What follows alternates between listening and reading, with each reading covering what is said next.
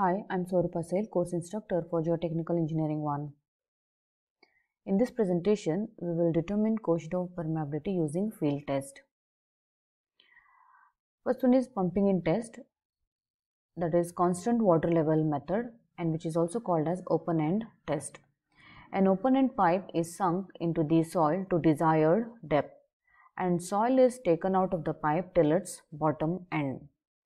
This test is conducted in a borehole with the pipe casing extending to the desired depth. In figure A and C, we can see that the bottom end of the pipe is above the water table. Whereas in figure B and D, we observe that the bottom end of the pipe is below the water table.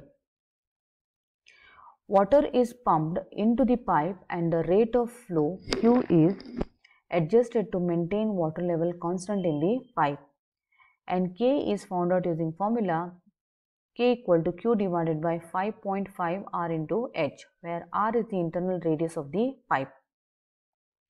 Next is packer method. A packer is an expandable cylindrical rubber sleeve and these are used to seal a section of borehole. There are two types of packer methods used. First one is single packer method and second one is double packer method. So this arrangement is for single packer method. A hole is drilled to the required depth and the packer is fixed at desired level above the bottom of the hole. The water is pumped out into the section below the packer. The constant rate of flow Q that is attained under an applied head H is found. Next is double packer method. A hole is drilled to the final depth and it is cleaned.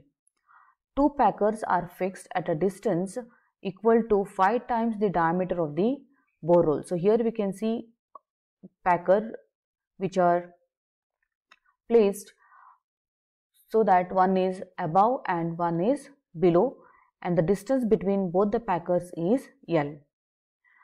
Both packers are then expanded and water is pumped into the section between the two packers. A constant rate of flow Q attained under an applied head H is found.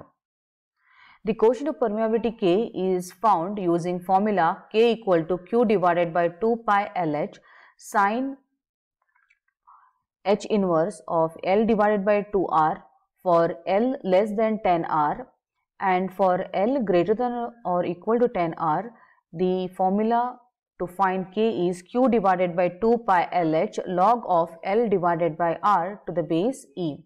Here R is equal to radius of the borehole and H is equal to differential head for maintaining a constant rate of flow in the test section.